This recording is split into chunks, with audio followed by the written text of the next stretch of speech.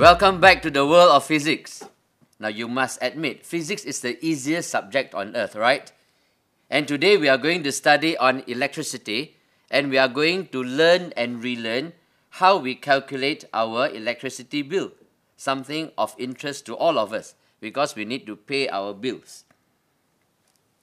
And I'm very sure that this morning you are going to relearn something. And now, okay, you will spend the next few minutes learning something and relearning something about the electricity bill.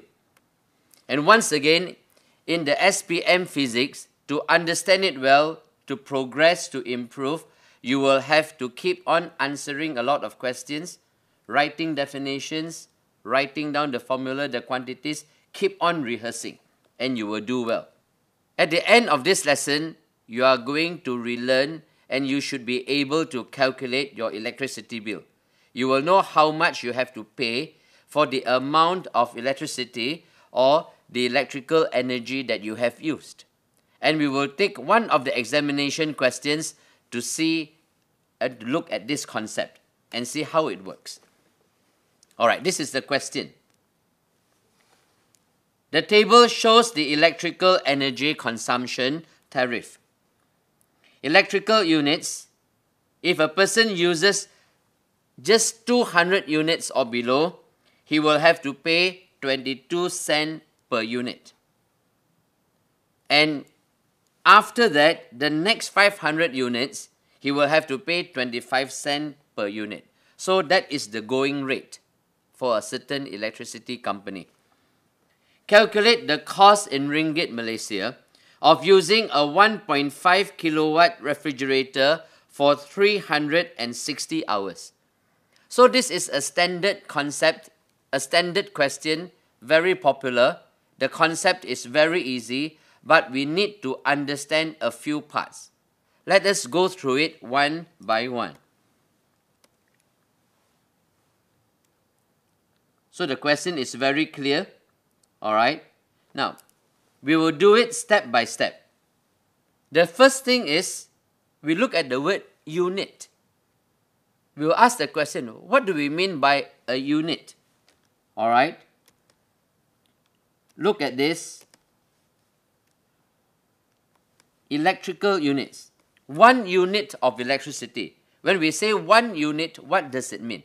When we say one durian, we understand, right? So, one unit of electricity, what does it mean? One unit is defined as one unit of electricity is defined as one kilowatt hour. Alright, I'll use the same term as in the table. One electrical unit is equal to 1 kilowatt hour. Now, this is the most important concept that we have to establish once and for all. One unit of electricity is equal to 1 kilowatt hour. So, what does 1 kilowatt hour mean? It simply means this.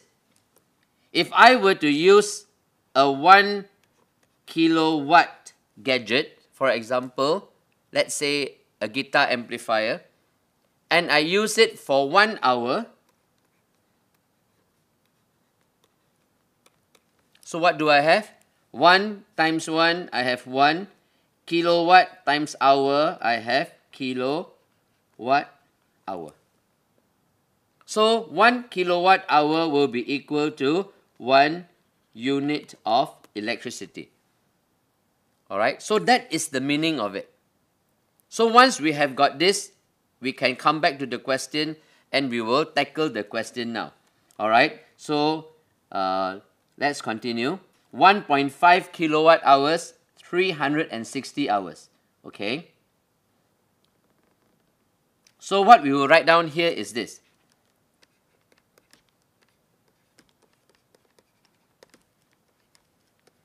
Now, what is the electrical or electric energy that is being used in this case? I have 1.5 kilowatt. That is the gadget, the power of the gadget. 1.5 kilowatt. And I use it for 360 hours. All right, 360 hours. Okay, we will just use H to make things more standardized. So 1.5 times 360, what would I get? I will get 540 kilo kilowatt hours. I know some of you must be saying, you said, teacher, why is it that you write down energy? You mean kilowatt hour is energy? It is. Just a little bit of revision. I'll put it here. Do you remember that power is equals to energy divided by time? Alright? So energy is given by energy. What will it give me? It will give me power multiplied by time. Get it? So now what do I have? Power 1.5 kilowatt is actually power. Alright? 1.5 kilowatt hour, sorry, 1.5 kilowatt is power and I multiplied by time. Alright, time here 360 hours. It's just that we are using a bigger unit. This is to make it easy for payment, easy for calculations. Alright, so allow me to erase this so that it is neater. Okay. So in other words, electric energy that is being used, what is the number of units? It is 540 units. So after this, it is very mathematical. It is just calculation of the uh, dollars and cents, so to speak. All right. So step by step, look at the question again. It says first 200 units, 22 cent per unit. First 200 units, 22 cent per unit. The next 500 units, 25 cent per unit. So in other words, now I've got to calculate the first 200 units. Alright, I write down first 200 units. Alright, so what is the cost? Cost of the first 200 units of electricity will be equal to 200 units multiplied by 22 cent per unit. All right, 22 cent per unit. Now, I would like to encourage all of you to write it down the way I write it. The reason is, once you write it this way, I cancel the units. What do I have? I have my answer in cent. All right. So I have 22 times 2 is 44, 0, 0 cent. And this is equal to ringgit Malaysia, 44 ringgit. So that is my first step. All right. Let's go on to the second step now. It's very simple. All right. Now the second step is I write down the next. Okay. I have used up 540 units. First 200 units. What is the balance? The next 340 kilowatt hour or 340 units of electricity that is being used. Okay, so what do I do? I write down what is the cost? The cost of the next 340 units of electricity used.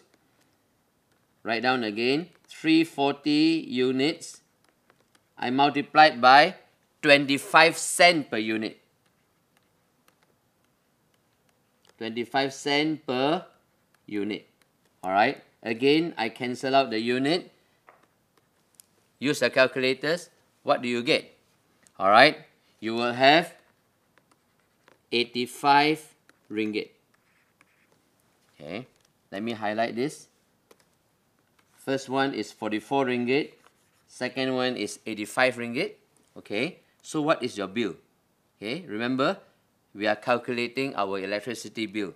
today. All right. So what is the total? All right. So therefore, what is the total cost of the electric, uh, electricity electricity used? Okay. So the total would be 44 ringgit plus 85 ringgit. Okay, so this would give, oh, it's not giving, we have to pay, not giving, all right? So this would mean that we pay altogether 129 ringgit. 129 ringgit Malaysia. All right? So it's very simple, very straightforward. Just follow the rules and do your mathematics uh, carefully. And remember, one unit is equal to one kilowatt hour. So this is a very simple lesson indeed, but very important for all of us. So once again, go back, look for other questions that are similar, do your calculations. All right, keep on writing, keep on answering questions, and you will do well.